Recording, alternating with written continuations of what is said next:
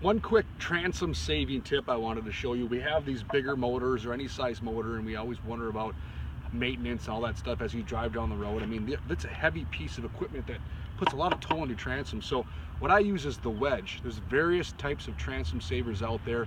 The wedge is very simple. This is it. This is all you need to carry with you. The other ones you can attach to your trailer.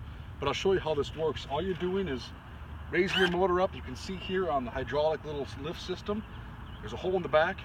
Slides over that, nice and easy. And now I drop my motor all the way down.